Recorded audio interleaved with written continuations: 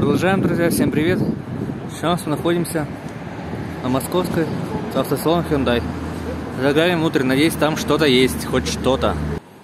К сожалению, только два автомобиля, Солярис и Крета. Но Солярис почему-то без ценника. Думаю, что он продан. Да и Крета, а нет, Крета есть ценник.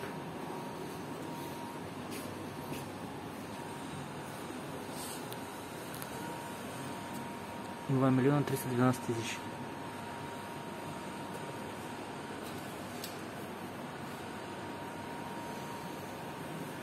Ну да, такая футуристичная внешность.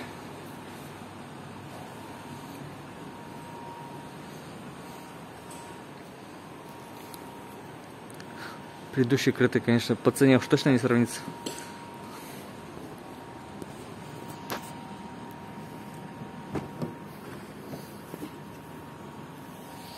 Ну, это самая-самая максимальная комплектация. Самый жир, так я понимаю. Даже панорамная крыша есть. Поэтому это самая максимальная цена, которая может быть на Hyundai Creta. В данном салоне в данное время. Конец сентября 2021 года.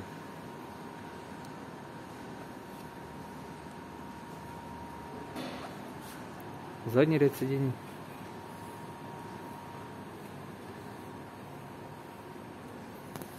Я так понимаю, это достается, а? Достается. Подлокотник. Здесь у нас что есть зарядка для заднего ряда пассажиров. Вот такие коврики мне больше всего не нравятся. Хоть оригинальные, они вот юлозят. То есть у них нет там, у них ровная поверхность тыльная. И они юлозят, и со временем скомкиваются и постоянно вот туда сдвигаются. Но я думаю, это не только у Hyundai такая проблема, у всех автомобилей, у которых якобы, ну как бы оригинальные коврики, они, короче, не приспособлены для эксплуатации. Именно сзади, спереди, там хоть какие-то крепления есть.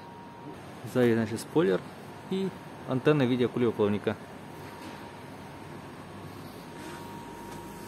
Открываем. Багажник. Багажник, ну, достаточно большой. Сколько точно в цифрах, я думаю, можете посмотреть прайс-листах на сайте производителя. Давайте посмотрим, что тут есть. Ну, пол, пол, полноразмерное колесо есть, запаска. И вот еще местечко есть. Какое-какое барахло сюда можно сложить. В китайцах все это пенопластом почему-то закрыто. Нет дополнительного места для какого-то барахла. Тут даже есть колонка сзади, второго. Закрываю. Ну, камера заднего вида. Ну, за такую стоимость еще бы и не было. Вот фары задние, конечно, да. Это, конечно, на любителя. Таких фар еще нигде не видел. Тут, видимо, какая-то версия Smart. Наверное, дорогая версия, я считаю. Потому что у нее разноцветная крыша, то есть крыша, точнее, черного цвета, а сам он синий. Диски вот такие модные сзади.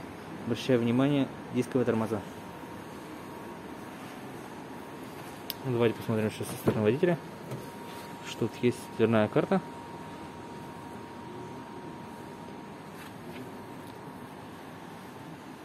Мультируль. Кожа такая приятная. Получается он четырехспицевый. У Шкоды двухспицевый, а у этих четырехспицевый. Автоматическая рукой передач.